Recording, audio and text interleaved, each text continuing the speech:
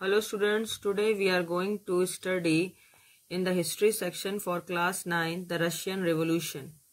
So in this section we study about the age of social change, what are the different types of social, political and economical changes before 1905 and after 1905 and uh, how the Russian Revolution takes place at that time or uh, what are the main effects on the peasants and farmers. So let me discuss. Now it is starting from the age of social change. Here in these conditions when we see that french revolution has started in the whole europe and captured his uh, their legs of the, the, to the whole europe and create the different types of changes in the society that was structured uh, during the, before the 18th century. And their effect has also come and seen in the 19, 18th century or for the 19th century starting period in whole europe and after europe it is also comes in russia and suddenly after the revolution there are the various types of possible changes occurs uh, about the individuals are knowing about the new ideas their rights social powers uh, and different things. And uh, in the russia there are also mainly three types of peoples are there conservatives liberals and radicals. So the russian societies are also different uh, as uh, there are three types of uh, peoples conservatives liberals and radicals who are differently in thinking. What are these thinkings are? Liberals, radicals and conservatives. One of the group which looked to change society were the liberals. Liberal wanted that nation which tolerated all the religions. बच्चों actually क्या है कि इस Russian revolution में हम ये देखते हैं कि जब हमें फ्रेंच रेवोल्यूशन हमने पढ़ा था तो उसमें हमने ये देखा था कि सभी लोग एक नेशनलिज्म के आइडिया को फॉलो करने लग गए थे और सभी चाहते थे कि हमें एक आज़ाद देश चाहिए जिसका एक अपना साइन सिंबल एक नेशन स्टेट हो और साथ में उनको जो है उनके अपना कॉन्स्टिट्यूशन हो और सभी लोगों को इंडिविजुअल्स को राइट्स मिले। और यही चीज़ें, यानी कि जो फ्रेंच रिवोल्यूशन का मेन आइडिया था, जिसको आप सभी जानते हैं लिबर्टी क्वालिटी ऑफ़ फ्रेटर्निटी यानी कि सभी लोगों को बराबर कानूनी रूप से अधिकार मिले, सभी को आज़ादी मिले, सभी को अपने इंडिविजुअल राइट्स मिले, हर चीज़ का उनको अधिकार हो, जीने का, खाने का, पीने का, रहने का, इत्यादि। और उसी प्रकार से ये रिवोल्यूशन फ्रेंच रिवोल्यूशन स्टार्ट होकर के यूरोप तक पहुँचा और यूरोप से होते हुए रशिया पहुँचा। रशिया में भी इसने बहुत सारे सोशल चेंजेस लाए लोगों के अंदर। रशिया की अगर कंडीशन देखे तो रशिया में मेनली जो है तीन टाइप के पीपल थे। पहले थे लिबरल रेडिकल और दूसरे तीसरे थे कंजर्वेटिव लिबरल वो ग्रुप था जो लोग केवल नेशन के बारे में ही सोचते थे और वो एक ऐसा राष्ट्र चाहते थे जिसमें कि वो कहते थे कि विच टॉलरेटेड ऑल रिलीजन मतलब जिसमें हर धर्म के मानने वाले लोग हों और किसी भी एक धर्म को जो है सर्वोपरि ना समझा जाए। सभी का रिस्पेक्ट तो किया जाए, लेकिन कोई भी एक राष्ट्र धर्म राष्ट्र धर्म जो होगा वो कोई नहीं होगा। बल्कि लोग अपने अपने धर्म का रिस्पेक्ट कर सकते हैं, उनको फॉलो कर सकते हैं प्रैक्टिस कर सकते हैं बट कोई भी स्पेशल एक राज का धर्म नहीं मनाया जाएगा। उनको उस समय हमें ये भी याद रखना पड़ेगा कि यूरोपियन जो सोसाइटी थी, वो इनसे बहुत अलग थी। वहाँ पर केवल जो है वो चर्च की ही बात को मानते थे, जैसे इंग्लैंड, ऑस्ट्रिया और स्पेन, वो केवल कैथोलिक चर्च की बात मानते थे। लेकिन रशिया में ऐसा नहीं था। और कैथोलिक चर्च ही कंट्रोल किया करता था ऑस्ट्रेलिया इंग्लैंड और रशिया में। जब लिबरल जो थे वो इन डायनेस्टिक पावर्स और डायनेस्टिक रूलर्स के जस्ट अपोजिट अपोजिट थे। वो चाहते थे कि ऐसी गवर्नमेंट बने जो इंडिविजुअल्स के राइट को सेफ़ गार्ड कर सके इंडिविजुअल्स के राइट को अप, जो है उनकी सुरक्षा कर सके ना कि एक धर्म पर ही आधारित हो। और इन्होंने इसके लिए कई सारे रिप्रेजेंटेटिव्स की बात भी कही पार्लियामेंट्री गवर्नमेंट को इलेक्ट करने की बात सोची और आगे इसके लिए काम भी किया। और इन्होंने कहा subject to laws interpreted by a well train judiciary इन्होंने कहा कि अगर सभी लोगों को एक कानूनी रूप से एक अच्छा न्याय दिया जाए तो उससे क्या होगा कि जो न्याय व्यवस्था होगी वो रूलर्स और ऑफिशियल से इंटर इंडिपेंडेंट होगी यानी कि आज़ाद होगी। मतलब न्याय लोगों को मिलने के लिए या न्याय के लिए, लिए जो डिमांड करेंगे तो लोगों को न्याय जो है वो रूलर्स और ऑफिशियल से बिल्कुल स्वतंत्र रूप से मिले। उनको डेमोक्रेट से कोई फ़र्क ना पड़े वहाँ पर। अब आता है इसमें इसमें रेडिकल्स लिबरल्स ने और ये भी सोचा कि जो प्रॉपर्टी होनी चाहिए, वो उसमें प्रॉपर्टी वाले व्यक्ति को वोटिंग राइट मिलना चाहिए। हालाँकि जो लिबरल्स थे, वो विमेन्स के लिए वोटिंग राइट की डिमांड इन्होंने नहीं की। और इन्होंने यूनिवर्सल एडल्ट फ्रेंचाइजी पर भी ज़्यादा विश्वास नहीं किया कि हर एक व्यक्ति को वोटिंग राइट दिया जाए। लेकिन ये सोचते थे कि जिन लोगों को प्रॉपर्टी जिनके पास, जो प्रॉपर्टी डिमांड है उनको जो है वोटिंग राइट ज़रूर मिलना चाहिए और विमेंस के लिए भी उन्होंने कोई बात नहीं की। अब दूसरे आते थे रेडिकल्स रेडिकल्स ये चाहते थे कि एक ऐसी गवर्नमेंट बने जो कि वहाँ पर जो मेजोरिटी ऑफ़ कंट्रीज़ पॉपुलेशन है, यानी कि ज़्यादा से ज़्यादा लोग एक कंट्री के जिस चाहते थे, जिसको बनाना, वो वाली गवर्नमेंट बने। यानी कि जो भी पॉपुलेशन जो भी मेजोरिटी में आए, वही पॉलिटिकल पार्टी जो है वो गवर्नमेंट बनाए। ये मानना था रेडिकल्स का। और रेडिकल्स ने जो है suffragette movement movement for the women's यानी कि वीमेंस के लिए वोटिंग राइट की बात की। और इन्होंने जो वहाँ के जमींदार थे बड़े बड़े और जो फैक्ट्री ओनर्स थे, उनके लिए जो उनको स्पेशल कोई सुविधाएँ ना दी जाए, उनका भी इन्होंने विरोध किया। अब आता है कंजर्वेटिव कंजर्वेटिव जो थे, वो एटीन सेंचुरी के अर्लियर में थे। ये लोग मोनार्की पर डिपेंड थे और मोनार्की को ही अच्छा मानते थे। इन्होंने किसी भी टाइप के चेंज के आइडिया को अपोज कर दिया। इनका मानना था कि अगर सोसाइटी में कोई चेंज होगा तो उससे थोड़ा नुकसान ही होगा। इसलिए ये, मगर फिर भी कुछ चेंज चाहते थे। जैसे कुछ चेंज में ये चाहते थे कि जैसे इनको पहले की जैसे पहले मोनार्कियल वगैरह को नोबल्स को, राजा के प्रतिनिधियों को, राजा के आसपास मंत्री लोगों जो रहते थे, या राजा वगैरह का परिवार होता था, उनको पहले रिस्पेक्ट मिला करते थे वो आज भी इनको ऐसी रिस्पेक्ट सोसाइटी में दी जाए। और जो चेंज है, वो धीरे धीरे आने वाला प्रोसेस है। इसलिए एकदम से चेंज ना किया जाए। इसमें ये लोग चाहते थे कि जो जैसे फ्रेंच रिवोल्यूशन में एकदम से चेंज आया और नेशन बहुत तेज़ी से ट्रांसफॉर्म हुआ, क्रांतियाँ हुई तो वो इस क्रांतियों को नहीं अच्छा मानते थे।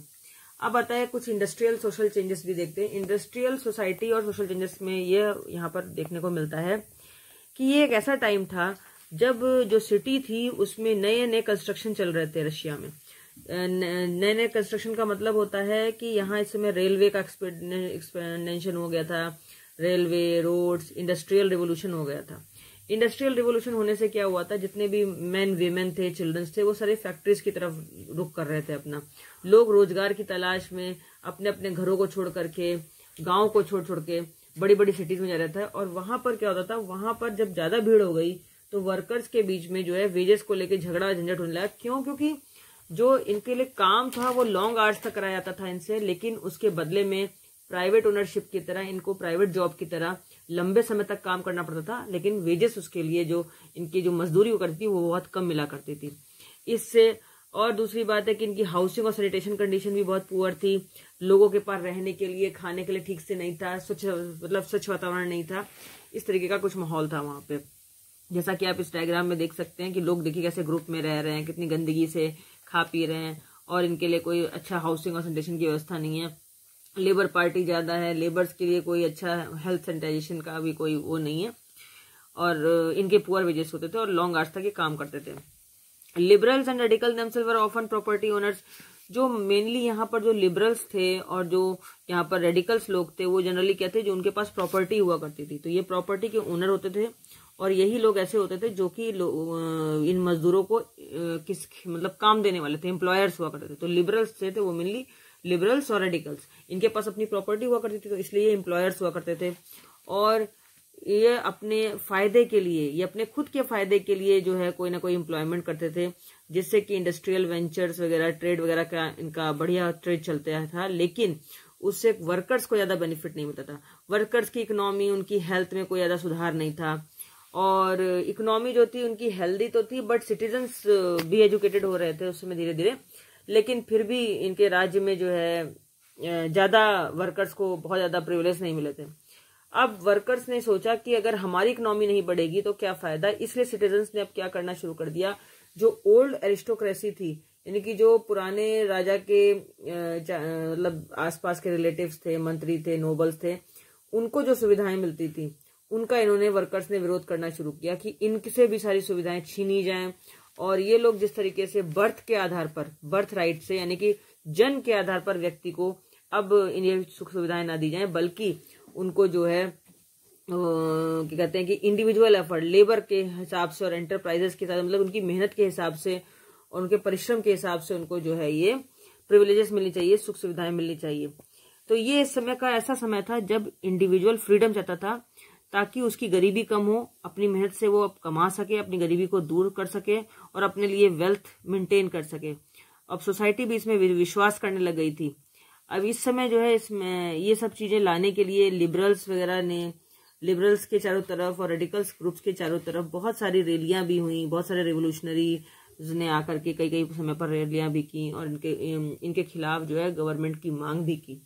कुछ नेशनलिस्ट रहे थे जो लिबरल और radicals wanted revolution to put end same kind of government establish in Europe मतलब कुछ रेडिकल्स और कंजर्वेटिव्स या कह सकते हैं कि रेडिकल्स और लिबरल्स जो कि अपनी प्रॉपर्टी राइट की बात हमेशा करते थे तो उनके खिलाफ वर्कर्स ने ये आइडिया भी दिया था कि जैसे गवर्नमेंट यूरोप में बनी है एटीन में, वैसी ही गवर्नमेंट यहाँ उन्हीं की तर्ज पर, जैसे फ्रांस में बनी थी, फिर इटली, जर्मनी से होते हुए अब वैसी गवर्नमेंट रशिया में भी बचनी चाहिए।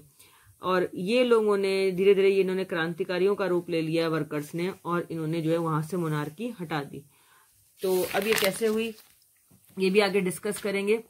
अब हम थोड़ा सोशलिज्म के तरफ़ आते हैं कि जो यूरोप है, उसमें सोशलिज्म कैसे कैसे आया? कि सोशलिज्म जो है, वो वेल नोन बॉडी थी। कई सारे लोगों का वाइड स्प्रेड आइडिया था, जिसने कई सारे लोगों का अपनी तरफ़ ध्यान भी खींचा। इसमें हम लोग देखते हैं कि सोशलिस्ट वो होते थे जो कि प्राइवेट प्रॉपर्टी के अगेंस्ट हुआ करते थे। इनको, ये लोग ऐसे थे जो समाज सेवी हुआ करते थे। ये कहते थे कि वर्कर्स या जो व्यक्ति होता था इंडिविजुअल उसको भी प्राइवेट प्रॉपर्टी का उसको अधिकार नहीं होना चाहिए, क्योंकि प्राइवेट प्रॉपर्टी रखने से सोशल इल्स पैदा होते हैं, सामाजिक रूप से जो है उनके साथ अन्याय होता है। तो ये चाहते थे कि ऐसे इंडिविजुअल्स हो जिनके पास अपनी प्रॉपर्टी हो तो जो लोग उन दूसरे लोगों को रोज़गार भी दे सकें और साथ में जो उनकी प्रॉपर्टी है, उसको पर्सनल गेन के लिए ना रखने, रख करके, बल्कि जो welfare for those who made the property productive मतलब कहने का ये है कि वो चाहते थे कि जो प्रॉपर्टी चाहे किसी की भी व्यक्ति की हो उस वो एम्प्लॉयर है, अगर वो दूसरों को एम्प्लॉय देने वाला है तो वो प्रॉपर्टी राइट केवल उसी का नहीं रहेगा, बल्कि उन सभी लोगों का होगा जो कि उसकी प्रॉपर्टी को प्रोडक्टिव बनाएगा। जैसे मान लीजिए किसी व्यक्ति ने, किसी व्यक्ति के पास पाँच बीघा खेती है तो पाँच बीघा खेती में उसने कोई इंडस्ट्री स्टैब्लिश कर रखी है तो वो इंडस्ट्री जो है, वो खाली उस व्यक्ति की नहीं रह जाएगी, बल्कि वहाँ पर काम करने वाले उन वर्कर्स की भी होगी, क्योंकि उन वर्कर्स ने अपने खून पसीने से उस चीज़ को सींचा है, उस चीज़, उस इंडस्ट्री को खड़ा किया है। ये लोग मानते थे सोशलिस्ट लोग ऐसा। और सोशलिस्ट का यही आइडिया जो है, आगे जाकर के सोशल इंटरेस्ट में तब्दील होता है, और वर्कर्स इनकी तरफ़ ध्यान देते हैं सोशलिस्ट की तरफ़। और उन्होंने ये भी कहा कि जो वर्कर्स हैं, उनको सामाजिक रूप से न्याय मिलना चाहिए, उनके वेजेस बढ़ाए जाने चाहिए और ताकि वो भी अपनी गरीबी को दूर कर सके। इसी क्रम में बहुत सारे लोग उभर के सामने आते हैं, जैसे कि एक है एक कोऑपरेटिव थे रॉबर्ट ओन इन्होंने एक ये इंग्लिश मैन्युफैक्चरर थे। इन्होंने क्या किया कि New Harmony in Indiana USA में एक अपनी कोऑपरेटिव कम्युनिटी बनाई और इसके थ्रू इन्होंने जो है सबसे पहले गवर्नमेंट की ऐसी मांग की जो कि कोऑपरेटिव्स को इनकरेज करे। इसके अलावा फ्रांस में लुइस ब्लैंक थे, जो कि गवर्नमेंट ऐसे चाहते थे, जो कि कॉपरेटिव्स को इनकरेज करे। कॉपरेटिव्स का मतलब हुआ कि जिसमें प्रॉपर्टी ओनर्स भी हुआ करते थे और प्रॉपर्टी ओनर्स के अलावा उनके वर्कर्स हुआ करते थे। और इन्होंने कैपिटलिस्ट इंटरप्राइजेस को रिप्लेस कर दिया। यानी कि जो पूंजीपति वर्ग, जो सबसे बड़ा उभर कर सामने आता था, जो कि जिसके पास ज़्यादा पैसा हुआ करता था, उसको रिप्लेस कर दिया और उसकी जगह कोऑपरेटिव सोसाइटी लाई। कोऑपरेटिव सोसाइटी का मतलब होता था कि जिसमें वर्कर्स और ओनर्स दोनों का ही बराबरी से अधिकार होगा किसी भी प्रॉपर्टी पर। अब है देश cooperative work to be association of people who produce good together ये कोऑपरेटिव एसोसिएशन जिसमें कि वर्कर्स भी होते थे जो कि सामान को तैयार करते थे और उसका जो उस इंडस्ट्री से जो प्रॉफिट हुआ करता था उसको वर्कर्स और ओनर्स यानी कि मिल के मालिक और उन वर्कर्स उसके अंदर काम करने वाले मजदूर, उन दोनों में बराबर रूप से इसको बांट दिया जाता था, इसके प्रॉफिट को भी और वर्किंग आवर्स को भी। कार्ल मार्क्स इस समय एक बहुत बड़े फिलोसफर हुए हैं बच्चों जो कि फ्रेडरिक और एक हुए थे फ्रेडरिक एंगल्स। इस समय इन्होंने ये सोशलिस्ट का आइडिया दिया था। कार्ल मार्क्स जो है वो पूंजीपतियों के लिए बहुत बड़ा आइडिया लेकर के उभरता है और उसने कहा कि जो दो प्रकार के लोग समाज में होते हैं, एक पूंजीपति वर्ग होता है जिसके पास बहुत पैसा होता है, जो फैक्ट्रीज में इन्वेस्टमेंट करता है और प्रॉफिट को कमाता है और उसी प्रॉफिट्स को पैदा करने वाले कौन होते हैं? वर्कर्स होते हैं। तो यानी कि कहने का मतलब ये हुआ कि जो वर्कर्स की कंडीशन है, वो तभी भी इम्प्रूव नहीं होती क्योंकि वो फिर भी प्रॉफिट कमाने के लिए वर्कर्स ही सारे जिम्मेदार होते हैं। और ये ऐसा इसलिए क्योंकि प्राइवेट कैपिटलाइजेशन है, क्योंकि प्राइवेटाइजेशन है यानी कि प्रॉपर्टी केवल उस मालिक की है और जिस मालिक की वो प्रॉपर्टी है, चाहे भले ही उसमें खून पसीना मजदूर लगा के काम कर रहा है, लेकिन मजदूरों को फिर भी उनके वजह ज़्यादा नहीं मिलते तो इसलिए मजदूर पुअर रहता है, लेकिन उसके पसीने से, उसकी मेहनत से बनाया जो प्रॉफिट है, जो बनाया गया गुड्स है, उससे जो आने वाला प्रॉफिट है, उससे मालिक जो है, मिल मालिक वो मज़बूत होता चला जाता है, लेकिन जो वर्कर है, वो फिर भी पुअर रहता है। और इसी चीज़ को जो कार्ल मार्क्स के आइडिया ने एक दिन जाकर के क्या किया कि कैपिटलिज्म के आइडिया को हटा दिया और ये जो प्राइवेट प्रॉपर्टी की रूलिंग थी, ये भी हटाने की पूरी कोशिश की और पूरी रिवोल्यूशन एक बड़ा सा रिवोल्यूशन ले आए। मार्क्स ये बिलीव करता था to free themselves from capitalist exploration की पूंजीपतियों के शोषण से वर्कर्स को बचाना होगा और इससे बचाने के लिए वर्कर्स को एक रेडिकली सोशलिस्ट सोसाइटी की स्थापना करनी पड़ेगी। Where all the property was socially control मतलब जहाँ पर प्रॉपर्टी जो होगी, वो सारे मजदूरों की होगी, मिलकर के, ना कि खाली मिल मालिक की होगी। और मकाल मार्क्स ने यह भी वर्कर्स को कन्विंस किया कि इस चीज़ से निपटने के लिए, मजदूर पूंजीपतियों से लड़ाई करने के लिए उनको एक साथ होकर के एकजुट होकर आना पड़ेगा आगे। और यही आइडिया जो है सोशलिज्म का, ये बहुत रंग लाता है काल मार्क्स का। और लगभग इसके लिए बहुत रिवोल्यूशनर्स होते हैं। और ये जब रिवोल्यूशन बहुत तेज़ी होते थे एटीन सेवेंटी में जैसे यूरोप में पूरा आइडिया सोशलिस्ट का फैल गया, उसी तरीके से रशिया में भी फैला। और सोशलिस्ट ने मिल करके एक इंटरनेशनल बॉडी बनाई जिसका नाम रखा उन्होंने इंटरनेशनल इसमें इंग्लैंड जर्मनी में बहुत सारी एसोसिएशन बनी जिन्होंने बेटर लिविंग और वर्किंग कंडीशन के लिए काम किया, ताकि लोगों की या मजदूरों की जो मिल में काम करने वाले लोग हैं एम्प्लॉयज़ हैं जो कि रोज़गार करते हैं, मजदूरी करते हैं, उनकी बेटर लिविंग हो सके वर्किंग कंडीशन बेटर हो सके। जर्मनी के साथ देने, जर्मनी ने भी इसमें इसमें साथ दिया है रशिया का। और धीरे धीरे क्या होता है कि एक इन्होंने सारे वर्कर्स ने मिल करके एक सोशल डेमोक्रेटिक पार्टी बनाई और सोशल डेमोक्रेटिक पार्टी ने ही आगे जाके पार्लियामेंट्री इलेक्शन को भी विन कर लिया। और 1905 में क्या होता है बच्चों सोशलिस्ट एंड ट्रेड यूनियनिस्ट यानी कि जो सोशलिस्ट होते हैं जो कि सोशल डेमोक्रेटिक पार्टी बनाते हैं वो, और जो ट्रेड यूनियनिस्ट लोग होते हैं जो कि व्यापार करते थे, इन दोनों ने मिलकर के एक लेबर पार्टी बनाई। और इस लेबर पार्टी ने पूरे फ्रांस में इस सोशलिस्ट पार्टी ने बहुत बड़ा रिवोल्यूशन ला के रख दिया। 1914 में सोशलिस्ट जो होते never demanded in forming a government in Europe 1914 में सोशलिस्ट ये नहीं कहते थे कि यूरोप की जैसी गवर्नमेंट यहाँ पर बने वो चाहते थे कि जो गवर्नमेंट बने उसमें पार्लियामेंट्री पॉलिटिक्स वगैरह सब में लेजिस्लेशन में चाहे वो कोई कानून बनाया जाए हर एक चीज़ में क्या कहते हैं कि सभी लोगों का आ, साथ होना चाहिए वर्कर्स का भी उतना ही कंट्रीब्यूशन होना चाहिए जितना कि ओनर्स का होगा। और इसीलिए जो but the comments continue to be run by conservative liberals and radicals यानी कि इसमें सभी लोगों ने बढ़ चढ़ के हिस्सा लिया और कंजर्वेटिव लिबरल्स और रेडिकल्स इन तीनों ने ही मिलकर के इसमें पार्टिसिपेशन भी किया और रिवोल्यूशन होता गया लगातार। और यही रिवोल्यूशन आगे जाकर के कैसे कैसे बढ़ेगा, अब वो मैं आपके से नेक्स्ट पार्ट में डिस्कस करूँगी। ठीक है?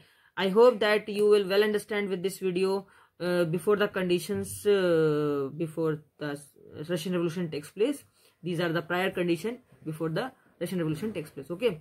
So till then goodbye from my next video. Please like and share subscribe my channel and keep learning mostly